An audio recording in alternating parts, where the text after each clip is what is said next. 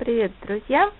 А, мой Вот завтрак. мой завтрак это салат с кальмаром. А, Все довольно просто. А, Вниз положила а, листья пекинской капусты, сверху выложила салат. В салат входит свежий огурец, а, кальмар в собственном соку или как их вот, ну, консервированный. А, Можно просто отварить э, как бы свой купить, если есть возможность купить там замороженный или свежий кальмар, сварить его и его использовать. А, И плюс яйца.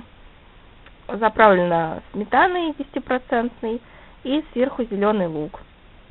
А, Я не солю, потому что кальмар консервированный, он уже соленый, и в принципе для меня это достаточно.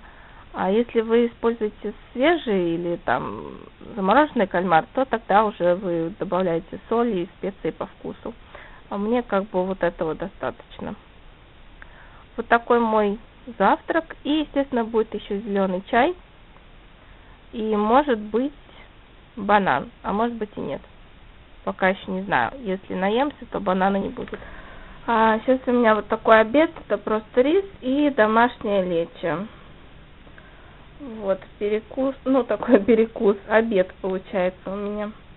Такой скромненький, простенький обед и, конечно, зеленый чай, потому что с дороги я... Вот, хочу поэтому пить. вот такой у меня скромный обед. И увидимся на ужине. Приятного аппетита. И решила себе яичный на ужин сделать. А, Вот такая обычная яичня. Ничего заурядного, с домашней ветчиной, лучком зелененьким. Ну, такая вот она странная у меня получилась. Ну и вот там зеленый чай. А, Приятного аппетита!